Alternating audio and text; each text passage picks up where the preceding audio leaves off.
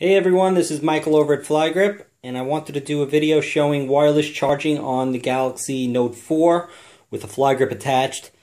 Um, over the course of a year, I'd say I got about 30 or 40 people that asked if it does work with wireless charging. I've tried it in the past with a Palm Pre Touchstone. They were the first ones to do wireless charging, and it did work, but I haven't tried it since personally. I've had some people's had success, and some have not had success.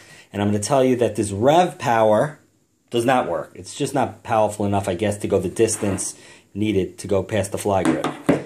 But the DT900 by Nokia seems to work fine, uh, as long as you find the right spot to put it. And as you can see, that works. Let me zoom in. There we go, charging.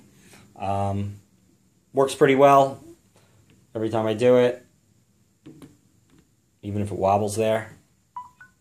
There you go. You can see the distance. Even with that kind of a distance, it still works. So, quick video. I'll put it in the description. The Nokia DT900.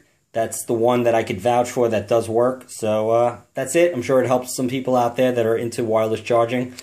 And uh, that is all. Take care, everyone. Hope this helped.